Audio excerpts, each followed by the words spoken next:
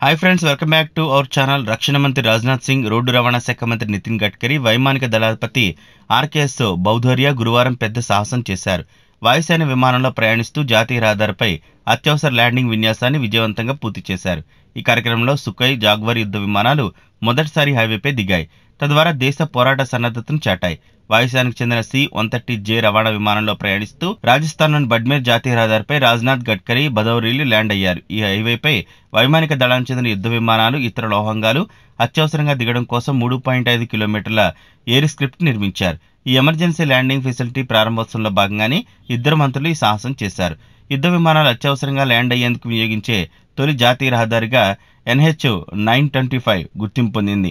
అనంతరం మంత్రులు ఈ LFI Sukhoi thirty MKI Mi seventeen V five helicopter నిర్వహించిన అత్యవసర ల్యాండింగ్ విన్యాసాన్ని వీక్షించారు. ఎయిర్ క్రిఫ్ట్ ఒక అనుబంధ వైమానిక స్థావరంగా తన సత్తా చాటింది. ప్రస్తుతం దేశవ్యాప్తంగా ట్వంటీ ఈఎల్ఎఫ్ఎల్ను అభివృద్ధి చేస్తున్నట్లు రాజ్నాథ్ సింగ్ అన్నారు. యుద్ధ సమయంలోనే కాక ప్రకృతి విపత్తుల సమయంలోనే ఉపయోగపడతాయని చెప్పారు. ఇలాంటి ప్రాజెక్టులు కార్యరూపం దాల్చే క్రమంలో ఎన్నో భయాందోళనలు తలెత్తాయని నితిన్ గడ్కరీ పేర్కొన్నారు.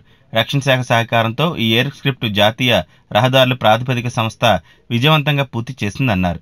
సత్తా గంధావ్ మధ్య నిర్మించిన ఈ ఎయిర్ స్కిప్ను ఎన్హెచ్ నైన్ ట్వంటీ ఫైవ్ మూడు కిలోమీటర్ల పొడవుతో నిర్మించారు. భారతమాల ప్రయోజన కింద ఏడు వందల అరవై ఐదు పాయింట్ ఐదు రెండు కోట్లతో నిర్మించిన గంగారియా బుఖార్ సార్ సత్తా గంధవ్ రహదారి నిర్మాణంలో భాగంగా ఎయిర్ స్క్రిప్ట్ను సిద్ధం చేశారు.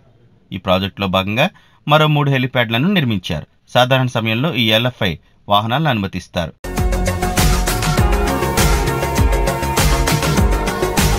మరిన్ని అప్డేట్స్ కోసం మా ఛానల్ని సబ్స్క్రైబ్ చేయండి.